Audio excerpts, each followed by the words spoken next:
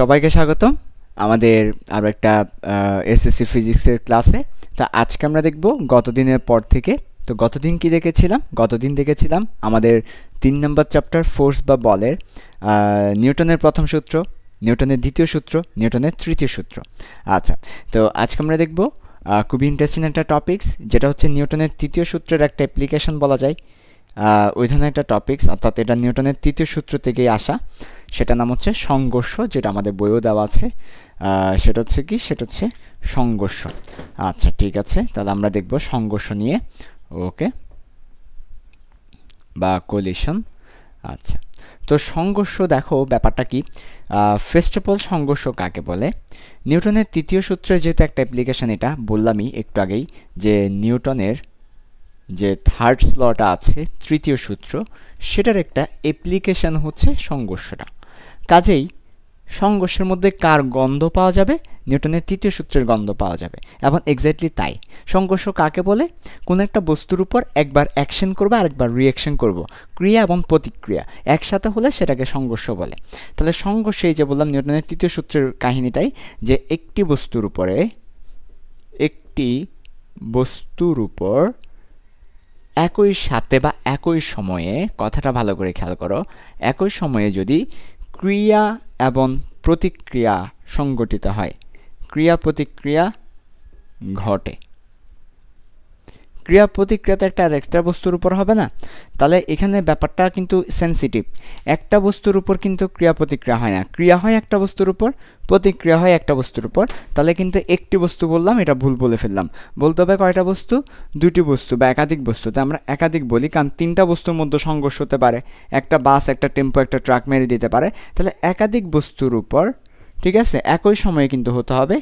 ক্রিয়া প্রতিক্রিয়া যে ঘটে, এটাকেই বলছি অ্যাকচুয়ালি সংঘর্ষ। তাহলে সংঘর্ষ জিনিসটা কি? সংঘর্ষ জিনিসটা হচ্ছে একাধিক বস্তুর উপর। কারণ একটা বস্তুর উপর ক্রিয়া হলে প্রতিক্রিয়া হয় না। কারণ তুমি একটা ঘুষি মারছো, এটা ক্রিয়া। বোর্ড তোমাকে দিবে, এটা প্রতিক্রিয়া। তাহলে বোর্ডের উপর একটা ক্রিয়া হচ্ছে, আবার বোর্ড তোমার উপর প্রতিক্রিয়া করতেছে। একই বস্তুর উপর ক্রিয়া প্রতিক্রিয়া হয় না। এটা একটা নিউটনের বেসিক আচ্ছা তাহলে একাধিক বস্তুর উপর একই সময়ে ক্রিয়া প্রতিক্রিয়া ঘটলে সেটাকে সংঘর্ষ বলতেছি। এটা নিউটনের তৃতীয় সূত্রের একটা অ্যাপ্লিকেশন তো যেখানেই ক্রিয়া এবং প্রতিক্রিয়া চলে আসবে, সেখানেই নিউটনের তৃতীয় সূত্র এটা সত্য হবে। যে এফ ওয়ান সমান মাইনাস এফ টু একটা বস্তুকে তুমি এফ ওয়ান দিলে, সে বিপরীত দিকে তোমাকে এফ টু দিবে। Every reaction has an equal opposite reaction প্রত্যেকটা কি আর একটা সমান বিপদমুখী প্রতিক্রিয়া আছে। কাজে এই যে সূত্রটা, এই সূত্রটা সংঘর্ষের জন্য সত্য। তাহলে সংঘর্ষের ম্যাথ করব কোন সূত্র দিয়ে? এই সূত্র দিয়ে। তো এই সূত্রকে যদি আমরা একটু এক্সপান্ড করি, তাহলে গত ক্লাস আমরা দেখেছি M one U one plus M two U two সমান M one V one plus M two V two. এটা হচ্ছে এই যে ফর্মুলাটা বা ভরবেগের সংরক্ষণশীলতা, এটা কিন্তু আসে এফ ওয়ান সমান মাইনাস এফ টু এই সূত্র থেকেই এটা আসে। কাজেই সংঘর্ষের প্রত্যেকটা ম্যাথ কিন্তু আমরা এই সূত্রটা কাজে লাগিয়ে করব। তাহলে সংঘর্ষের ম্যাথ দেখলেই আমরা এই ফর্মুলাটা ব্যবহার করব। কারণ সংঘর্ষ বলতে বোঝায় ক্রিয়া প্রতিক্রিয়া আর ক্রিয়া প্রতিক্রিয়া বলতে বোঝায় এফ ওয়ান সমান minus F two. F one সমান মাইনাস এফ টু থেকেই এই ফর্মুলাটা আসে। কাজে সংঘর্ষের অঙ্কগুলো এই ফর্মুলা দিয়ে করতে হবে। চলো এবার আমরা সংঘর্ষের অঙ্কগুলো কীভাবে করতে হয় সেটা দেখব। বেসিক পার্টটা বুঝালাম, এবার আসলে সংঘর্ষের অঙ্কগুলো কীভাবে করতে হয় সেটা আমরা দেখব। আচ্ছা ঠিক আছে? ওকে, দেখো ভালো করে। সংঘর্ষের অঙ্কগুলো কেমনে করতে হয় সেটা আমরা দেখব। ওকে, আসো।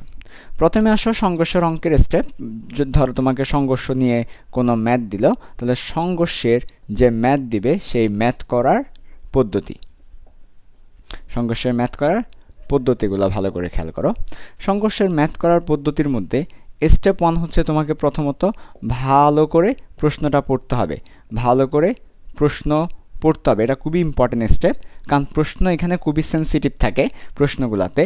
সো প্রশ্ন না পড়লে কিন্তু তুমি ভুল করবা। দুই নম্বর স্টেপ হচ্ছে চিত্র আঁকা। প্রশ্ন পড়ে তুমি চিত্র আঁকবে, চিত্র আঁকা। তিন নম্বর স্টেপ হচ্ছে তোমার যে কোনো একদিকে তীর চিহ্ন দিয়ে দেওয়া যে কোনো একটা ধিককে প্লাস এবং বিপরীত ধিককে মাইনাস ধরা। অর্থাৎ তুমি যদি ডান সাইডকে প্লাস ধরো, তাহলে বাম সাইডকে মাইনাস ধরা। স্টেপ ফোর হচ্ছে বেগের আগে প্লাস মাইনাস বসানো। স্টেপ ফাইভ হচ্ছে ইকুয়েশন লিখা। আর এর পরবর্তীতে মান বসানো। তো এই স্টেপগুলো হচ্ছে আমার সংঘর্ষের ম্যাথ করার স্টেপ কীভাবে সংঘর্ষের ম্যাথ করতে হয়? ওইটা আমরা এই স্টেপগুলোতে দেখব। তো এই যে স্টেপগুলো স্টেপগুলো একটু মাথায় রাখতে হবে। প্রথমেই ভালো করে প্রশ্নটা পড়তে হবে তার পরবর্তীতে চিত্র আঁকতে হবে। তারপর যে কোনো একটা দিককে প্লাস এবং অপর দিককে মাইনাস ধরতে হবে। তারপর বেগের আগে প্লাস মাইনাস যেটা হয় সেটা বসাতে হবে। তারপর ইকুয়েশন দিকে মান বসাতে হবে। আচ্ছা এই স্টেপগুলো আবার আমরা অ্যাপ্লাই করে, এবার আমরা একটা একটা করে ম্যাথ দেখব বা একটা একটা করে কেস দেখব আর কি। এই স্টেপগুলোকে অ্যাপ্লাই করে আমরা একটা একটা করে কেস দেখব। সো স্টেপগুলো তোমরা একটু মাথায় রাখো। স্টেপগুলো তোমাদেরকে মাথায় রাখতে হবে। এবার আমরা একটা একটা করে কেস দেখব। তো প্রথমেই চলে আসো কেস ওয়ান একদম প্রথম যে কেসটা তাহলে প্রথম কেস ওয়ান খেয়াল করো। কেস ওয়ান হচ্ছে সংঘর্ষের আগে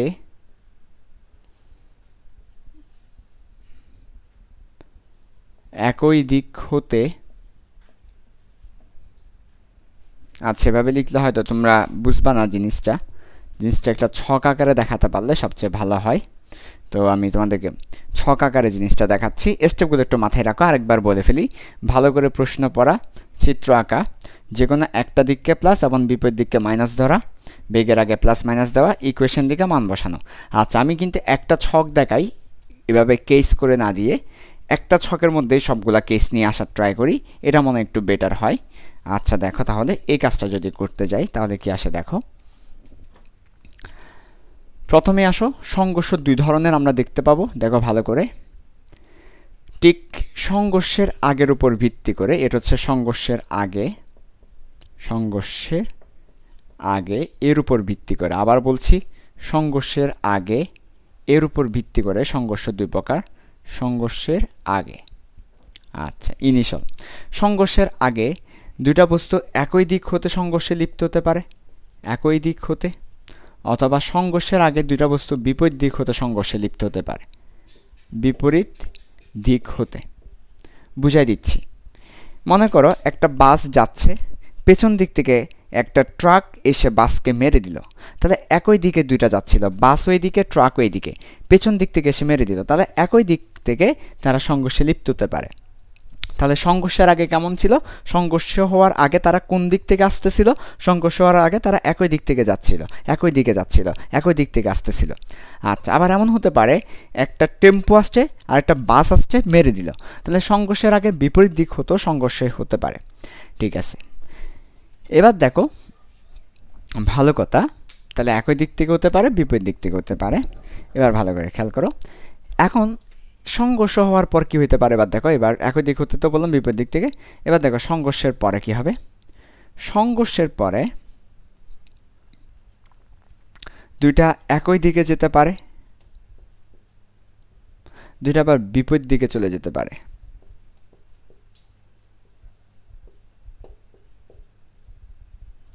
আবার বলছি, সংঘর্ষের পরে একই দিকে যেতে পারে। বিপরীত দিকে যেতে পারে।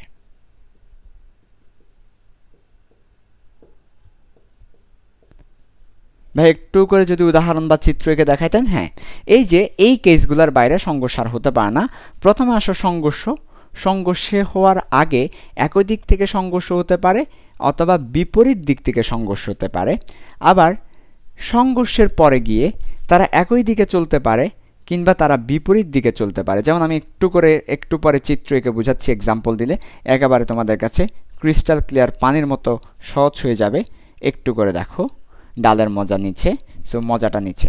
আচ্ছা এবার দেখো চিত্র এঁকে দেখাচ্ছি। দেখো ফার্স্ট অফ অল এই ব্রাঞ্চটা খেয়াল করো।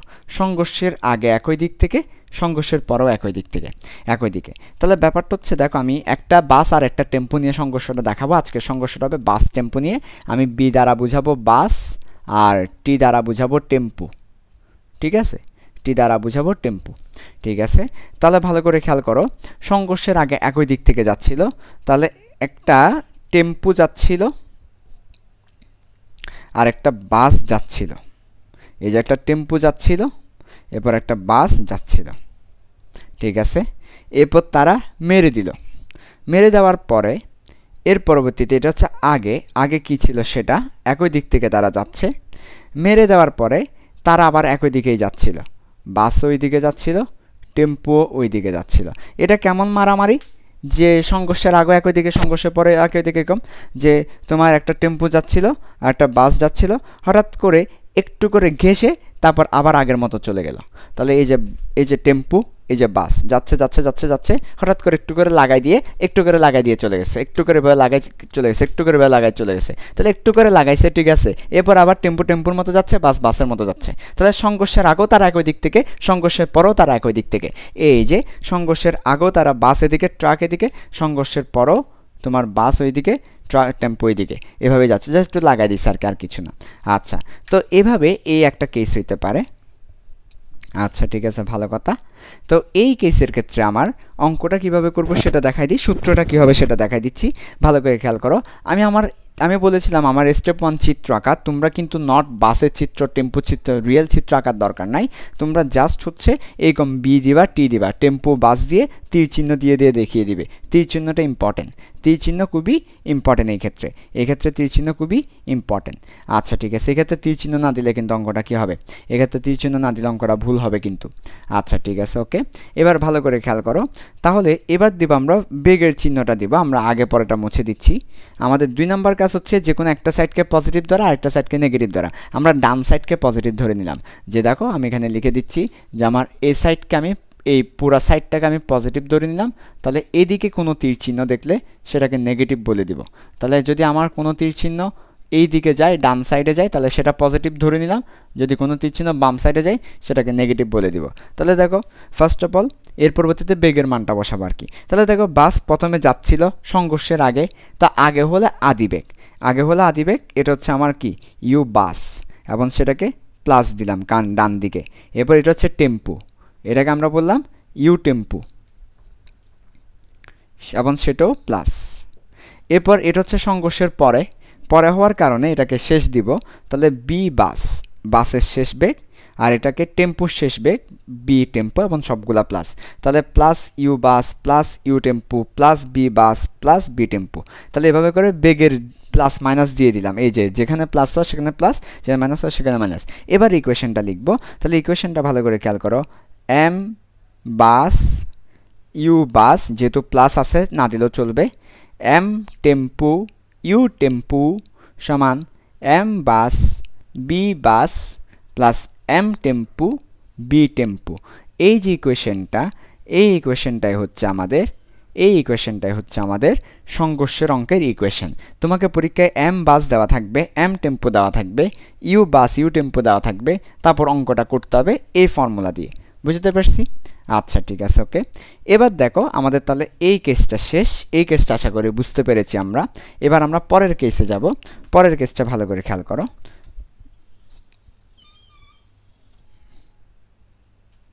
ওকে। পরের কেসটা দেখো সবাই একটু ভালো করে। যে সংঘর্ষের আগে একই দিক থেকে ছিল, কিন্তু পরে বিপরীত দিক থেকে হয়ে গেছে। মানে ব্যাপারটা এরকম যে মনে করো, ভালো করে খেয়াল করো।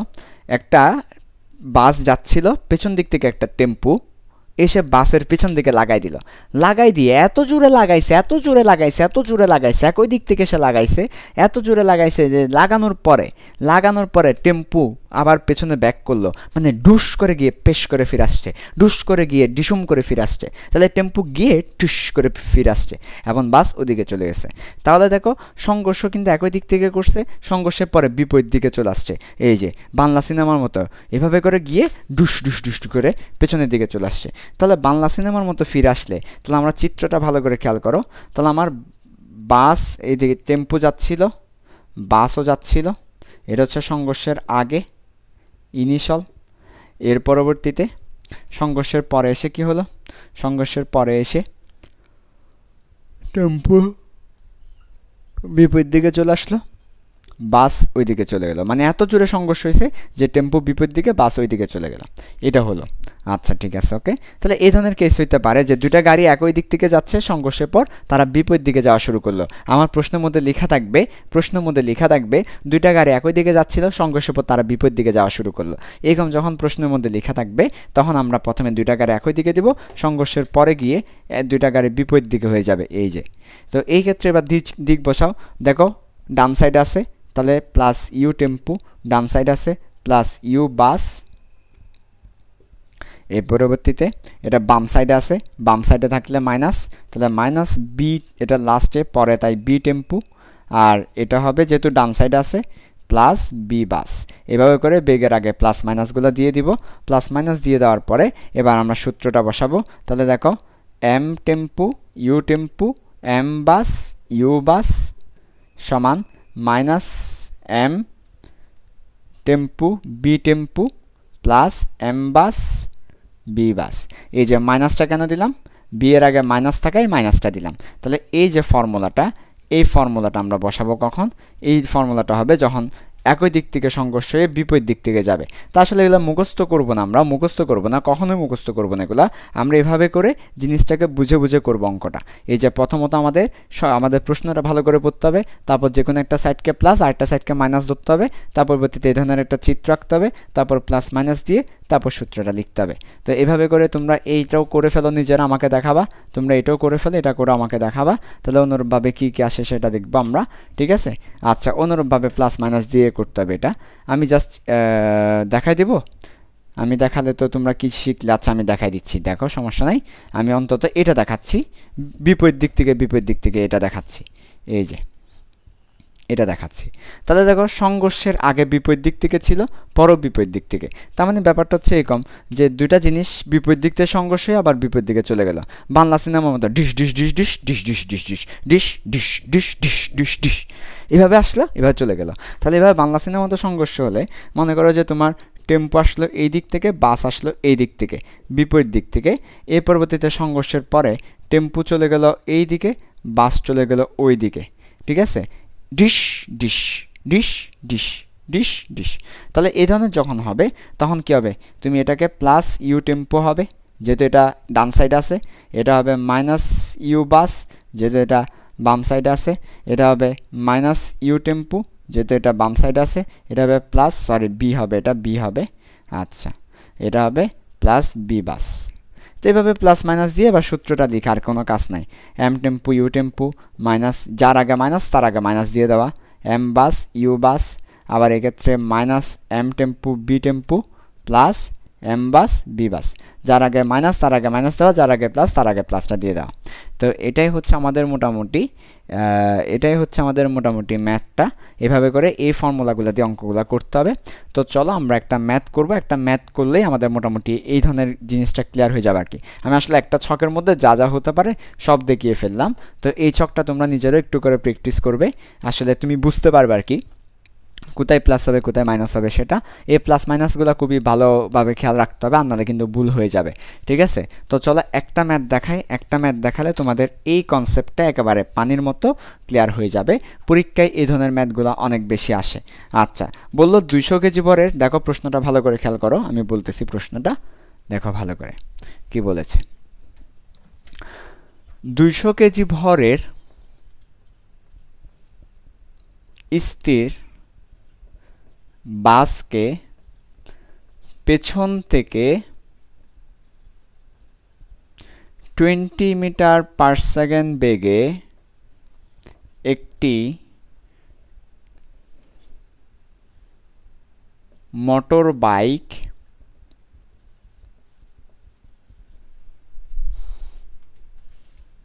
কি করল? ধাক্কা দিয়ে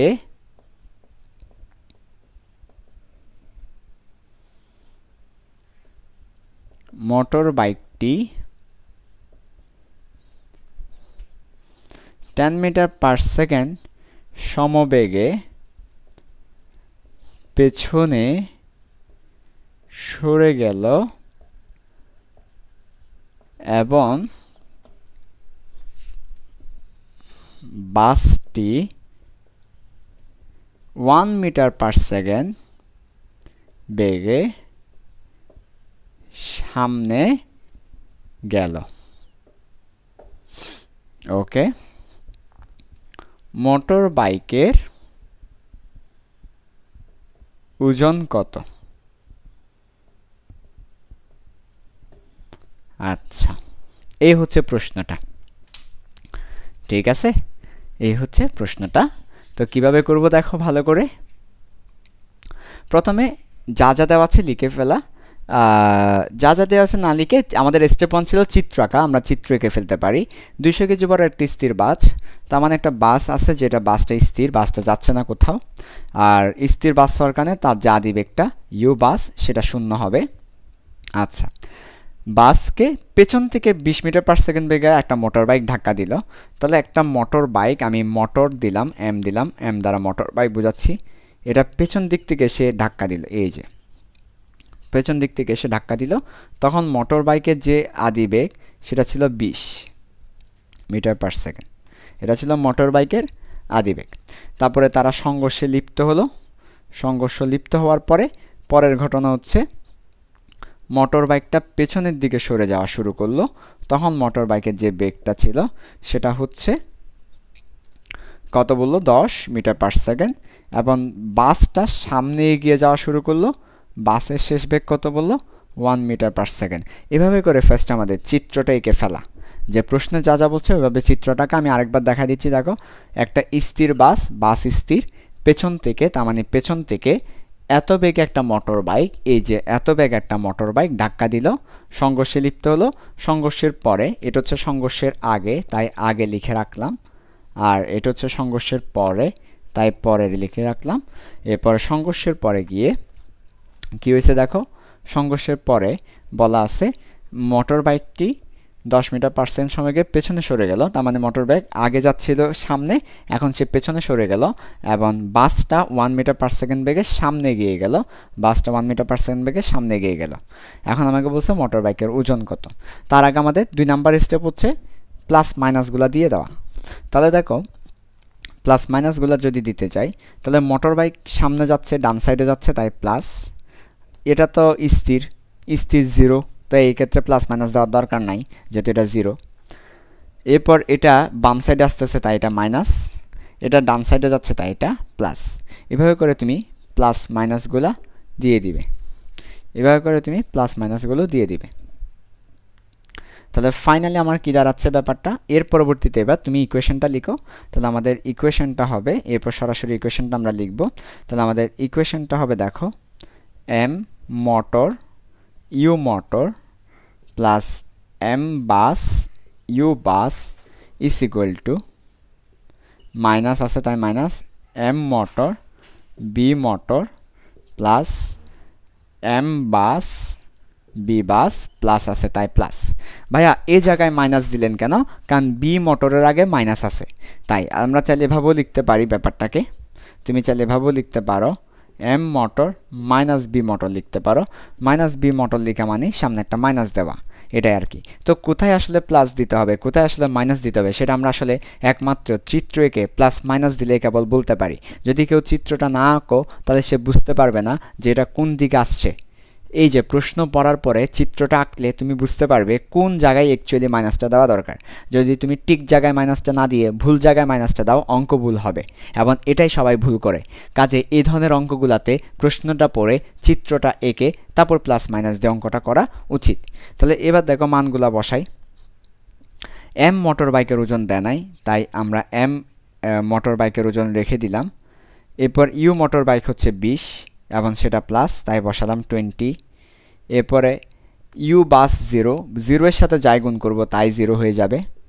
এরপরে এম মোটর বাইকটা দেওয়া নাই, তাই রেখে দিলাম M motor bike V motor bike হচ্ছে দশ, সামনে একটা মাইনাস আছে, তাই মাইনাস দশ।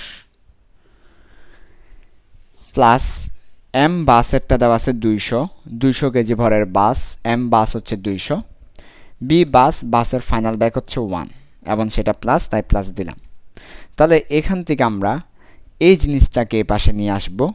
যদি এই জিনিসটাকে এ পাশে নিয়ে আসি, তাহলে আমরা কি পাচ্ছি? তাহলে আমরা পাচ্ছি এখানে আছে মাইনাস দশ এম আর এখানে আছে বিশ এম। তাহলে মোট হচ্ছে এই মাইনাস দশকে পাশে আনলে প্লাস হয়ে যাবে। মাইনাস দশ এমকে পাশে আনলে প্লাস দশ এম।